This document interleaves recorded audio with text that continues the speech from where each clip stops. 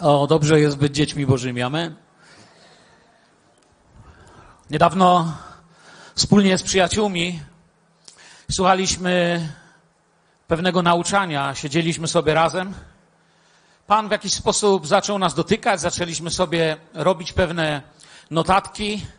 I przyznam się, że osobiście Bóg mnie dotknął tym, czym się dzisiaj chcę z Wami dzielić. Nie nadążałem nawet trochę z pisaniem tego, co słyszałem, tego, co dotykało mojego serca, tych przeżyć, tej inspiracji.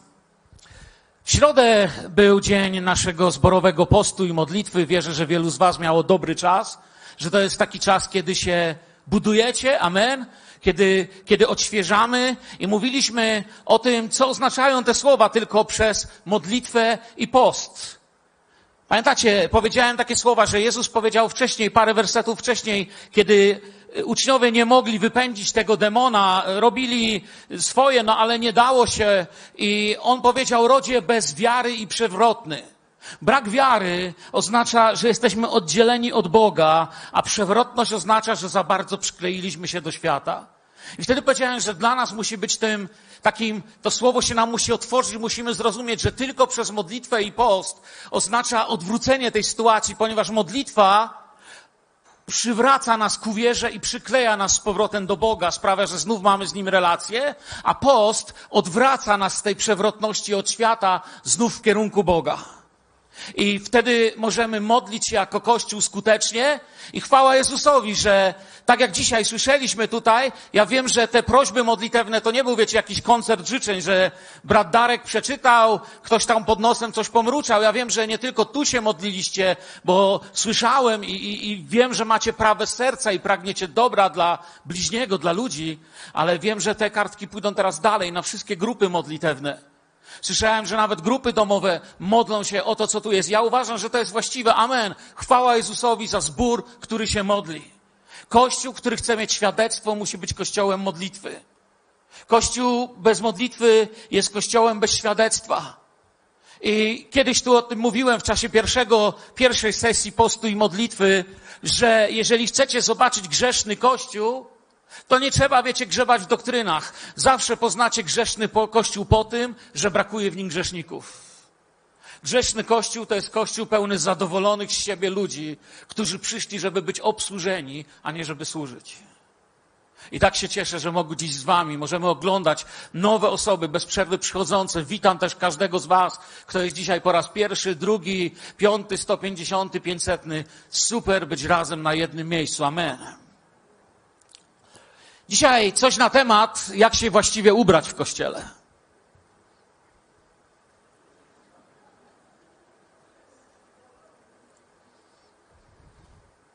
Wiedziałem.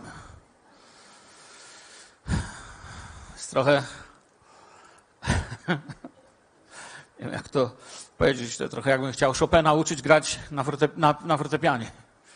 Każdy z Was wie, że że no, nie jestem fachowcem, jeśli chodzi o modę, że gdyby nie moja kochana żona, to prawdopodobnie byłbym pastorem, który przychodzi w worku z ziemniaków ze sznurkiem, z taką dziurą na głowę tylko. Ale na szczęście mam żonę, która pilnuje i dzięki niej jako tako mogę się czuć, znaczy nawet nie jako tako, bardzo dobrze. A więc dzisiaj coś na temat, jak się właściwie ubrać i chciałbym w miarę tego słowa, abyśmy się przyglądali sobie. Abyś zdecydował, czy aby na pewno przychodzisz na nabożeństwa ubrany tak jak trzeba.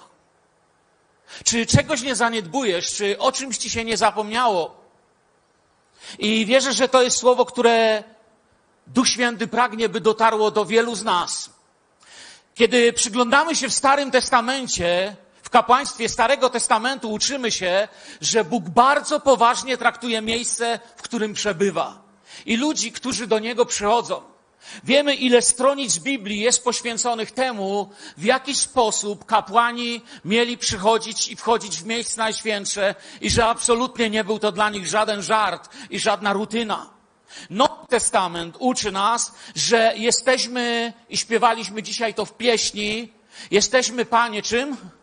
Kapłaństwem Twym, że jesteśmy królewskim kapłaństwem. Dokładnie Piotr mówi, że jesteśmy rodem wybranym. że jesteśmy królewskim kapłaństwem. To znaczy, od razu daje definicję tego, że narodem świętym, ludem nabytym, czymś, co sobie Bóg nabył. Po co, po co tym jesteśmy? Jesteście królewskim kapłaństwem po to, żebyście się czuli ważni? Nie. Po to, żebyście się mogli pocieszać, no bo jak się człowiek czuje nikim, to chociaż trochę się poczuje kimś nie.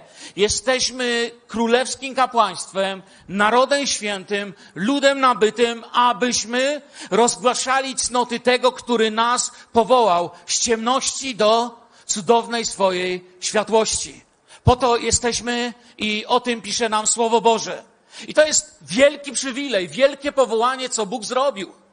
My nie wierzymy, że ja jestem jakimś wybranym kapłanem i nie staję przed wami ja i na przykład pastor Bogdan i nie mówimy do was, słuchajcie, tylko przez nas Bóg działa. Jeśli to i to, jeżeli ja nie powiem, to to i to, tylko ja, pośrednik. Nie. Jesteśmy, Panie, królewskim kapłaństwem. Jestem waszym bratem, waszym przyjacielem. Jestem tym, który ma przywilej was nauczać, głosić słowo, ale jesteśmy królewskim kapłaństwem. To nie tak, że przeze mnie, ale jest jeden pośrednik między Bogiem, jasno, i ludźmi. I to jest Jezus Chrystus, mówi Słowo Boże. My jesteśmy kapłaństwem, czyli tymi, którzy sprawują tą służbę, że świat wie, jak przyjść i może przyjść. I to nie są lekkie słowa. Druga księga Mojżeszowa, 28 rozdział, drugi i trzeci werset powiadają nam, Sprawisz też bratu swemu Aaronowi, Aaronowi święte szaty na cześć i dla ozdoby. Poroz, porozmawiaj też ze wszystkimi wprawionymi w rzemiośle, których obdarowałem duchem mądrości, aby zrobili szaty dla Aarona, by wyświęcony pełnił mi służbę jako kapłan. Zobaczcie, czym zainteresował się Pan Bóg. To nie jest tylko Stary Testament, to jest pouczenie, na co Bóg patrzy w służbie. Co święty Bóg uważa za ważne, gdy ktoś przed nim staje. Kiedy przychodzę przed Jego oblicze, co Bóg uważa, że jest ważne. A więc nie musisz poprawiać dzisiaj Twojej krawatki, jeśli ją masz. Nie musisz, nie wiem, podkoszulki włożyć do spodni, jeśli przyszedłeś pod koszulce. Nie musisz jakoś zasłonić dziury, którą masz w dżinsach. Bo nie dokładnie o tym chcę mówić. Jednak chcę powiedzieć, popatrzmy dzisiaj, jak musi ubierać się każdy, kto kocha Boga. Popatrzmy na tego, który wchodził w miejsce najświętsze i uczmy się ze Starego Testamentu, jakimi Bóg chce, żebyśmy przyszli w to miejsce. Pierwsze, co rzuca mi się w oczy. Biblia nazywa to tak pięknie diadem świętości. Skorzystam tutaj z tłumaczenia Ewangeliczny Instytut Biblijny, druga Mojżeszowa 28-36. Ponadto każesz zrobić szczerozłoty diadem. Polecisz wygrawerować na nim, jak na pieczęci napis, poświęcony Panu. Widzicie to? Wiecie, co jest diadem? Gdzie jest diadem, prawda? Oni mieli taki turban, później powiem o tym jeszcze więcej, czy zawój, jak y, wolimy to nazywać. I to na tym się znajdowało. Ale to, co Duch Święty bierze, chcę powiedzieć dzisiaj do naszego kościoła, do ludzi, którzy śpiewają, jesteśmy, Panie, kapłaństwem Twym, mój umysł musi być ukoronowany świętością. Mój umysł musi mieć na sobie napis poświęcony Panu. A więc to nie jest wszystko jedno, o czym myślę i jak myślę i czy z tego pokutuję, czy nie, czy się z tego oczyszczam, czy nie. Dlatego, że chcę Wam powiedzieć, wielu z Was stoczyło w życiu wiele bitew. Ale każda Twoja bitwa, czy to jest bitwa o zdrowie, o małżeństwo, o jakieś decyzje, o rodzicielstwo, o służbę, o cokolwiek. Mogę wymieniać, co mi luźno do głowy przychodzi. Każda Twoja bitwa była wygrana lub przegrana najpierw w Twoim umyśle. Kiedy poddałeś się tu, to się nazywa morale wojska w czasie bitwy. Kiedy wojsko myśli o sobie, jesteśmy do bani, przegrywamy, nic nas nie ma, to wiemy, że mówią, mówi się, morale wojska jest niskie. Takie wojsko źle walczy, bo raczej się spodziewa, że trzeba, patrzą, którędy uciekać, a nie którędy atakować.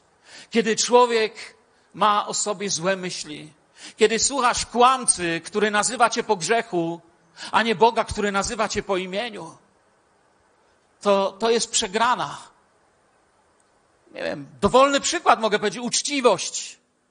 Gdzie jest pole walki, jeśli chodzi o uczciwość? Tutaj. W umyśle jest pole walki, jeśli chodzi o uczciwość. Gdy postępujesz w prawy sposób, to walka nie rozegrała się, nie wiem, w łóżku, rozmowie, w portfelu, na boisku, chociaż tak to pozornie wygląda, lub nawet na nabożeństwie, ale walka rozegrała się w umyśle. To tu podjąłeś decyzję, zdecydowałeś, uznał, że hańba Chrystusowa jest lepsza niż skarby Egiptu, jest napisane o Mojżeszu. Rozgrało się to w nim i zdecydował. Nasz przeciwnik, diabeł, zrobi wszystko, aby z Twojego mózgu, z Twoich myśli dokładnie, z Twojego umysłu zrobić szambo. Żebyś miał brudne myśli, gniewne myśli, negatywne myśli. Ja widzę, że ten świat jest tak negatywny, jak jeszcze nigdy w historii. Świat to, to jest jakaś epidemia negatywności, epidemia wszystkiego, co złe. Włączysz wiadomości, same złe rzeczy na wybierane. Niektórzy ludzie myślą, że prawość polega na mówieniu negatywnie, że, że, to, jest, że to komuś pomaga. Internet, muzyka, film, wszędzie negatywnie, wszędzie źle, wszędzie oskarżająco.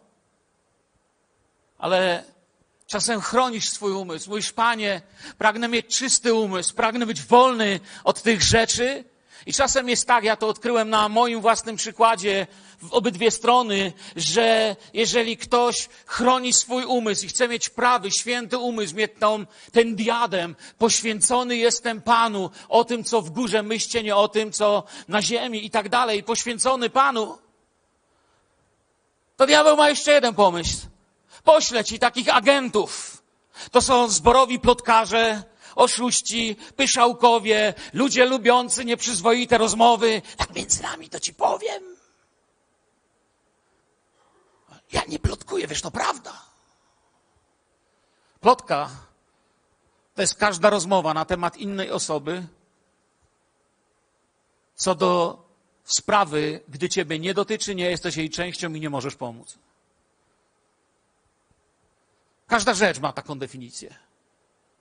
Zawsze możesz wiedzieć, jak być prawym człowiekiem.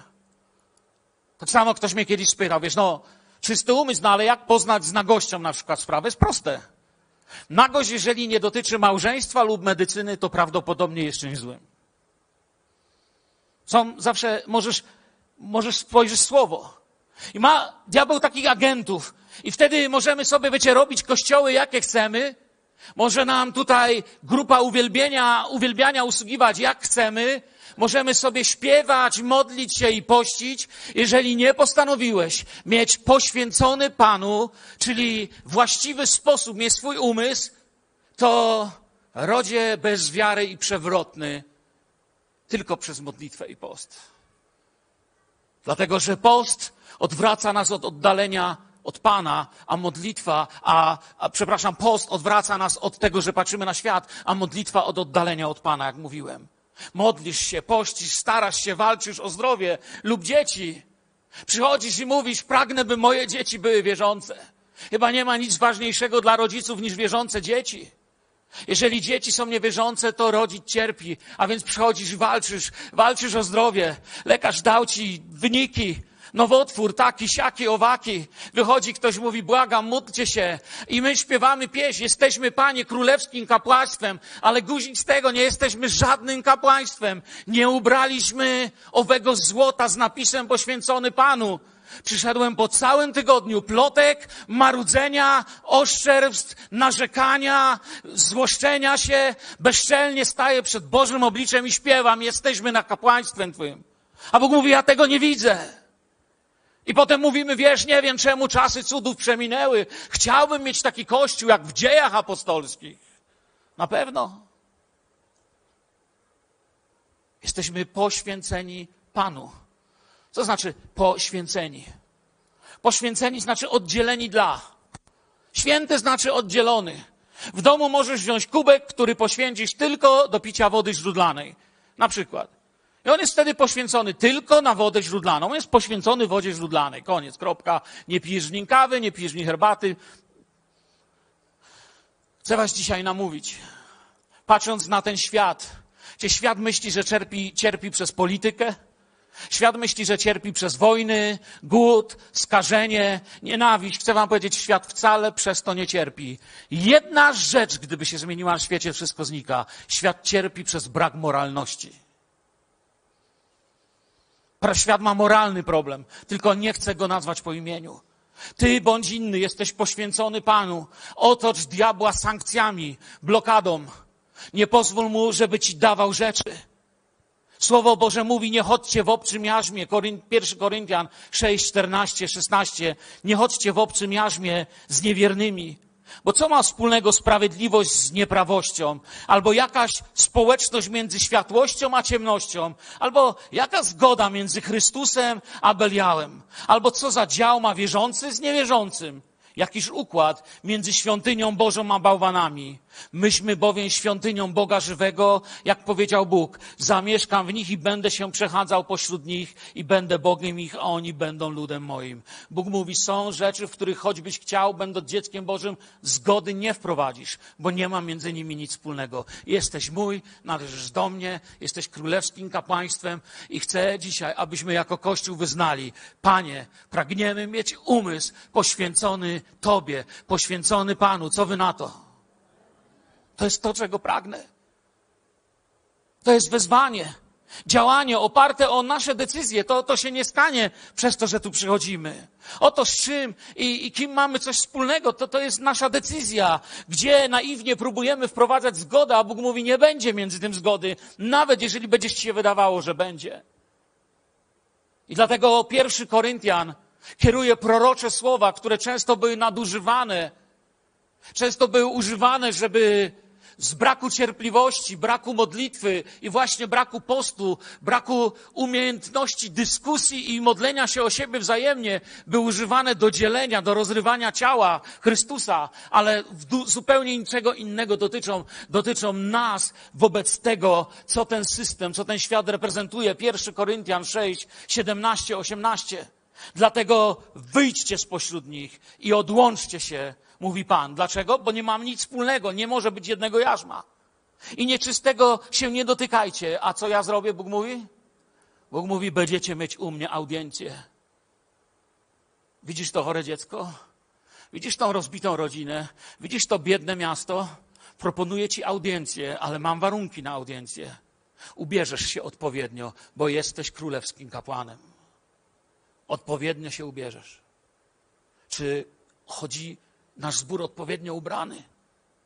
Czy mamy diadem? I będę wam ojcem, wy będziecie mi synami i córkami, mówi Pan Wszechmogący. Gdzie świat ostatnio doświadcza wszystkich możliwych plag, jakie są. Już nie wiadomo, gdzie się nie popatrzysz, to, to, to coś złego. Pamiętam, jak y, to pierwsze nabożeństwo w tym roku, kiedy się dzieliłem z wami słowem, czy ostatnie, już nie pamiętam, czy to było przed, czy po Sylwestrze, ale pamiętam, już wtedy miałem ten ciężar w sercu. Mówiłem do was, to będzie ciężki rok. Ja nie, nie, nie, nie, nie mówię, że prorokowałem. Nie. Ja czułem, że jest ciężko. Czułem, jakby niby pandemia przemijała, ale czułem, że jest ciężar na tym świecie, że, że, że te demoniczne władze tego świata wyłażą, że, że ta pokrywa od tego kanału, w której tyle lat gdzieś tam to paskudztwo się działo i było lżej, otwiera się w wielu miejscach. Na świecie pojawiają się coraz więcej rządy, władze i siły, które zabraniają ludziom mówić, zabraniają wszelkiej wolności. Nieomal dwie trzecie świata nie ma już wolności. Coś złego się dzieje. Jego sytuacja, jak powiedziałem, nie jest spowodowana świata. Sytuacja polityką, wojną, zatrucie jest spowodowana moralnym stanem człowieka, tym, kim człowiek się stał. Reszta to tylko efekt. My mamy być inni, mamy się wyróżniać. Amen czy nie? Nie możemy się wyróżniać, jeżeli będziemy tacy sami. Wtedy będziemy, jak pamiętam, w przedszkolu pani nas zawsze poprawiała, bo mówiliśmy taki sam, ale inny. Wtedy będziemy taki sam, ale inny. Jeśli będziemy tacy sami, to właściwie niczym się nie różnimy. Jedni kleją modele, inni chodzą na ryby, a my marnujemy dwie godziny w niedzielę rano na siedzeniu i słuchaniu teorii o Bogu. Czy, czy o to chodziło? Ja wierzę, że Bóg ma dla nas coś więcej. Bóg mówi: ubierzcie się w szaty, bo tak umiłowałem ten świat, że chcę temu światu usłużyć. Będziecie moimi sługami, będziecie kapłaństwem, które użyję. Możecie wskazać ludziom. Nie będzie inaczej, jeśli postępujemy tak samo. Nie będzie innych efektów, jeśli mamy takie same metody. Jeśli wiara nam się kojarzy z religijnym szczękościskiem. Jeśli wiara nam się kojarzy z byciem pochmurnym, nieprzyjemnym, aroganckim, czującym się lepiej. Pamiętam, niedawno włączyłem kazanie i kaznodzieja strasznie krzyczał: Nierządnica, nierządnica, Babilon, nierządnica, z taką pogardą na świat. Pomyślałem sobie, biedny ten świat. Pomyślałem sobie, Panie, daj nam Kościół, który nie tyle będzie krzyczał nierządnica, co będzie krzyczał jak ci mężowie Boży, którzy w Szkocji przeprowadzili przemu, prze, przebudzenie, gdzie w barach ludzie padali w bojaźni Bożej na kolana, gdzie w więzieniach był taki płacz, że musieli posyłać po pastronom, nie wiemy co się dzieje. Duch Święty się wylewał na Szkotów, dlatego że modlili się, Boże, daj nam Szkocję albo umrę. Zupełnie inna postawa. Chcę tych ludzi zdobyć. Gdyby Jezus żył w naszym mieście, gdyby Jezus żył w Bielsku Białej, pracowałby, nie wiem, na przykład w którymś sklepie albo w którymś biurze, czy i przychodziłby do nas do zboru. To jest takie gdyby, prawda? Wiadomo, chcę, chcę was coś zapytać. Czy rozmawiałbym z Jezusem o tym, o czym rozmawiam z przyjaciółmi, z braćmi i siostrami ze zboru? Czy odważyłbym się z nim o tym rozmawiać? Czy robiłbym to, co robię? Czy powiedziałbym do niego, słuchaj, popatrz, chodź ze mną, coś ci pokażę, coś ci powiem, coś ci powiem o tamtym i siamtym z tego zboru? Czy powiedziałbym to do niego? Czy nasza rzeczywistość nie jest duchowa? Czy nie jest tak, że oto jestem z wami po wszystkie dni, że że bycie Kościołem polega na tym, że osobiście spotkaliśmy Pana, a trwanie w tym byciu Kościołem polega na tym, że świadomi Jego obecności Jemu służymy. Amen? To przecież o to chodzi. Ubieramy diadem świętości poświęcony Panu. I tak chcę chodzić po mieście, po domu i po pracy. Chcę się tego uczyć. Bóg zaczyna mnie dotykać w tej sprawie. Powiem Wam tak, właściwie świeżo z tym przed Wami stoję. Sam jeszcze proszę, Panie, pokaż mi, jak to zrobić lepiej, bo mi nie chodzi o to, żeby wyjść przed wami, wiecie, z tym szczękościskiem i, i wam coś mówić tu religijnego, ale żeby to było coś naturalnego, takiego z naszych serc, że, że, że nam serca popuszczą, że spojrzymy na tego biednego grzesznika i poczujemy, że my naprawdę mamy co zaproponować, że jesteśmy tym, czym Bóg chciał, żebyśmy byli na dni, które przychodzą. Następna sprawa co do naszego ubioru. To jest Boży napierśnik relacji ludu Bożego. Żeby było jaśniej, druga Mojżeszowa 28, 29, 30. Aaron będzie nosił imiona synów izraelskich na napierśniku wyrocznym, na swoim sercu, gdy będzie wchodził do miejsca świętego ku stałej pamięci przed Panem. Do napierśnika wyrocznego włożysz Urim i Tumim, aby były na sercu Aarona, gdy będzie stawał przed obliczem Pana. Tak nosić będzie Aaron na swym sercu ustawicznie przed obliczem Pana, wyrocznie dla synów izraelskich. Urim, światło, Tumim, niewinność, będzie w zupełnie inny sposób przychodził do Boga, niż ludzie to o sobie robią w tym świecie. Kapłan nosił taki napierśnik na swoim sercu z imionami dwunastu pokoleń Izraela. Duch Święty tak mi pokazuje, chce nosić na sercu wasze imiona.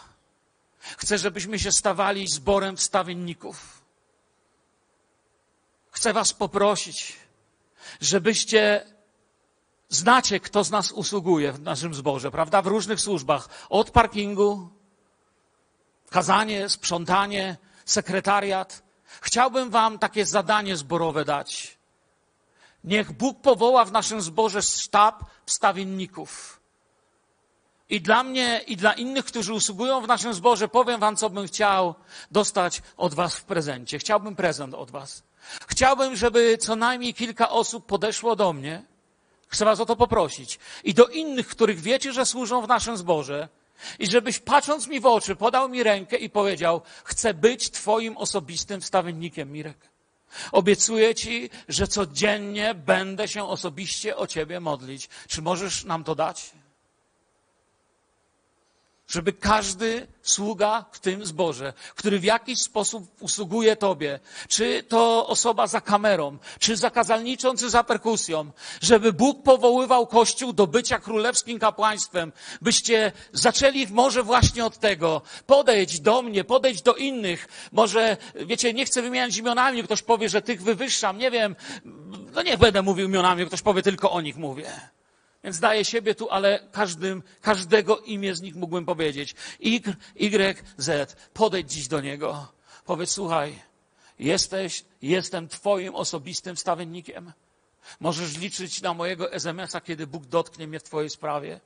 Możesz liczyć na to, że kiedy mi napiszesz, że mam się o ciebie modlić, będę się o ciebie modlić.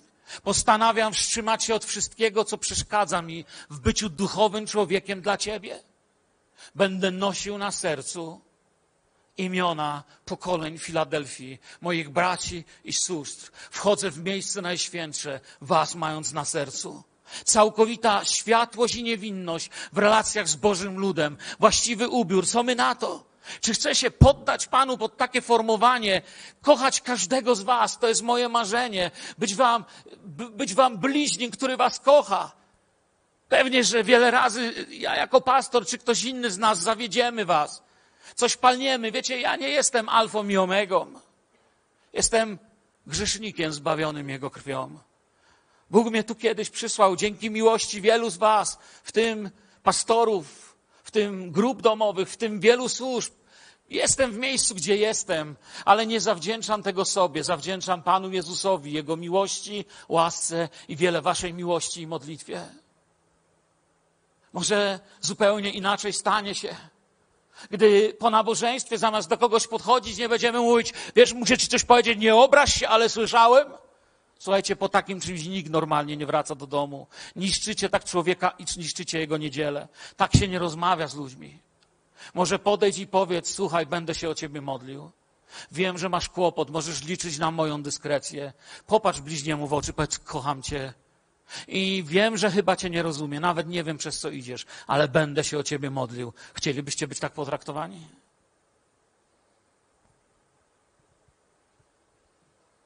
Być właściwie ubranym. Twoje, moje życie jest najbardziej uformowane przez tych, którzy pozwalają się używać Bogu albo diabłu. Cieszyłem się, albo parę razy w życiu nie spałem przez tych, którzy pozwolili się użyć Bogu albo diabłu. Czasami nie spałem, bo ktoś coś powiedział i Duch Święty pokazał mi, ta osoba ma rację. Ta osoba jest dla ciebie głosem modlitwy, napomnienia i szansy. Nasze serce musi być czyste, abym podejmował właściwe decyzje. Wielu z nas kieruje się ranami, bliźnami, podejmujemy złe decyzje. Ja chcę to w sobie zmienić, nie chcę żyć inaczej. Stan naszego serca odzwierciedlają właśnie nasze decyzje, pasja albo obojętność. Jeżeli usłyszycie, co dziś do Was mówię, bracia i siostry, ja to po prostu poczułem w sobie. Jeżeli się właściwie ubierzemy jako zbór, to zobaczycie, że zaczniemy wyróżniać się, będziemy inni. Nie będziemy słabym zborem, gdzie trzeba ludzi rozdzielać i godzić, ale będziemy zborem, który będzie miejscem cudów, będziemy miejscem cudów. Jeśli jesteś poraniony, cały od bliz i siniaków, wezwij dziś imienia Pana. Miej odwagę poprosić o modlitwę. To czas na uzdrowienie, bo mam wejść w miejsce na świętsze. To jest ważne, zrobić porządek z bliźnimi. W tej modlitwie, o której niedawno żeśmy słuchali wykładu, Niektórzy nazywają ją modlitwą pańską, inni ojcze nasz i tak dalej. Wiecie o co chodzi, a wy tak módlcie się. Żadne ze słów tej modlitwy Jezus nie komentuje, ale komentuje tą część, by odpuszczać winy bliźnim. To skomentował. To jest ważne, bo to może zepsuć wszystko. To może zepsuć zrozumienie całej reszty. Kolejna część ubioru, który jest nam potrzebny, to jest tunika. Druga Mojżeszowa. 28-39. Utkasz też wrzożyście tunikę z bisioru i zrobisz zawój z bisioru oraz pas wrzożyście haftowany. Tunika, nakrycie głowy, o którym już wspominałem i pas. Tu skupimy się bardziej na tej bieliźnie kapłańskiej, że tak to powiem, szatach, Wspomina o nich lepiej Ezechiel. On bardziej pokazuje, jaki jest tutaj Boży motyw. Księga Ezechiela 44, 17, 18. A gdy będą wchodzić do bram dziedzińca wewnętrznego, będą ubierać się w szaty lniane. Nie będzie na nich nic wełnianego, gdy będą pełnić służbę w bramach dziedzińca wewnętrznego i w przybytku. Będą nosić na głowie zawoje lniane i na biodrach spodnie lniane. Nie będą opasywać się w materiał wywołujący poty. Widzicie, teraz religijny człowiek zacznie latać po sklepach i szukać lnianych gaci. Bo religia mu tylko jest wszystko, co go naucza. Ale Duch Święty ma coś dużo więcej do powiedzenia. Bóg nie chciał widzieć spoconych ludzi w służbie przybytku. Ja na przykład biorę takie leki posilające po chorobie, którą kiedyś przeszedłem. I one powodują, że się pocę momentalnie. Ale wiem, że to nie o tym tu Pan Bóg mówi. Że nie muszę dzisiaj powiedzieć do Was, słuchajcie, nie mogę kazania powiedzieć, no bo wziąłem dzisiaj tą tabletkę i cały jestem spocony. No. A w ogóle i tak się pocę bez tabletek, bo się ruszam i, i bebech leży za duży i tak dalej. No to teraz o tym nie mówimy. Z Egiptu wychodzili spoceni, zmęczeni niewolnicy, ale teraz miało być inaczej. Bóg mówi: Dam wam bieliznę odpoczynku. Z zewnątrz wyglądacie na zajętych, zapracowanych, ale wewnątrz macie odpoczynek w Jezusie. Masz pokój. Z zewnątrz ludzie mówią, jak ty dajesz rady, jak ty to ciągniesz, jak ty to robisz, jak ci się to udaje. A ty mówisz, pokojem moim Pan. Nie jestem spocony. Nie boję się. Ich używanie ustanawia tego ubioru nowy pokój, nowe priorytety, plan dnia, dyscyplinę. Stary ja pędził, bity, lany kijem, wiecie, jak świnia do rzeźni. Diabeł leje, żebyś nie miał czasu się obejrzeć. Szybko, szybko, już, już, już, już. Goni jeszcze bardziej niż Jagośkę w niedzielę rano, żeby wyjść z domu w końcu. Znaczy tak macie w domu, że my jesteśmy taka patologiczna rodzina. No szybciej idziemy bo się spóźnimy. Tylko my, no to módlcie się. Wiecie, ten Bożek, ten Bal i te wszystkie bożki Rzymu, Egiptu, one były nastawiane na to, co chcesz, co czujesz, jakie masz chuci, jakie masz odczucia, jakie masz pragnienia. I ścigają ludzi, oferując im tyle, że ludzie nie wyrabiają. Ale czas z Jezusem zaczyna zmieniać wszystko. I bez świętego czasu, bez sabatu, bez radości będziesz niewolnikiem. Człowiek potrzebuje sabatu, czasu odpocznienia z Bogiem, kiedy niczego nie produkuje, niczego nie wyrabia, ale ma czas z Bogiem. Człowiek potrzebuje wytchnienia. Ja na przykład odkrywam, Potrafię wiele, wiele zrobić, potrafię się z wieloma ludźmi spotkać, modlić, odwiedzać. Wiecie, że to robię, ale w tym samym czasie, kiedy poczuję, że już dłużej nie wyrabiam, że normalnie zaraz nie dam rady, to jest to dla mnie pierwsza świecąca się na czerwono kotrolka, że prawdopodobnie jako pastor wychodzę poza wolę Bożą bo nie jest wolą Bożą dla mojego życia, żebym pędził jak wariat i nie pamiętał o niczym i oszalał z pośpiechu, przemęczenia i stresu. To nie jest to. Bóg mówi, nie musisz się pocić, masz mój pokój. Czas z Jezusem zmienia wszystko. Mateusz 11, 28. Przyjdźcie do mnie wszyscy spracowani, przeciążeni, ja wam zapewnię wytchnienie. On nam daje zupełnie nowe jarzmo. To wszystko do nas pasuje. Bóg nie powołuje mnie do nerwowego pędu ale do modlitwy. Jeśli nie mam na nic czasu, to prawie na 100% mówię, wychodzimy poza wolę Bożą. Sam zaczynam pędzić, działać, ustawiać i potrącać. Spocony duchowo nie mam czasu na zwyczajny czas z Bogiem. Nie pamiętasz, kiedy czytałeś ostatnio Biblię? Zamiast sobie kupić 365 dni z Biblią, albo zwycięski plan czytania Biblii. Słyszałem, że zwycięski plan czytania Biblii jest tym zwycięski, że pokonał prawie każdego. Nikt nie dał rady do końca. To o nas mówi, o naszej słabości. Ja mam taki plan, czytam według niego Biblię. Widzę, że moja żona często czyta Biblię od dechy do dechy, oprócz innego czytania. Od początku do końca. Trwać w tym słowie, mieć je w sobie. Jak tu się dziwisz, że od lat się nie zmieniasz? Jak się dziwisz, że jesteś nerwowy? Jak się dziwisz, że jestem rozbity, jeżeli nie mam czasu z moim Panem? Wierzę w więcej i więcej pracy, ale Nie wierzę już w modlitwę, nie wierzę w post, nie wierzę w dziesięcinę, nie wierzę w hojność, tylko wierzę więcej, więcej, a diabeł leje szybciej. Co tam 12, 14 godzin? Człowiek staje się niewolnikiem jak w Egipcie. Mój świat staje się nie jego odpocznieniem, ale jakimś piekłem. Na wierzchu tego ubrania była szata. W drugiej Mojżeszowej 28, 31, 35 płaszcz pod efot zrobisz cały z fioletowej purpury. W jego środku będzie otwór na głowę. Otwór ten będzie miał dookoła obwódkę utkaną, jak w otworze skórzanego pancerza, aby się nie podarł. Na jego dolnych brzegach zrobisz dookoła jabłuszka granatu z fioletowej i czerwonej purpury i z karmazynu, a między nimi wokoło złote dzwoneczki. Złoty dzwoneczek, jabłuszko granatu i znowu złoty dzwoneczek i jabłuszko granatu będą dookoła na dolnych brzegach płaszcza. Aaron będzie to miał na sobie podczas pełnienia służby, aby słychać było dźwięk wokół niego, gdy będzie wchodził do miejsca świętego przed Pana i gdy będzie wychodził, aby nie umarł otwór na głowę kapłana był utkany. Nie był wycięty lub co gorsza rozdarty. To, to, to było bardzo złym znakiem w judaizmie, rozdarta szata. Ale był utkany.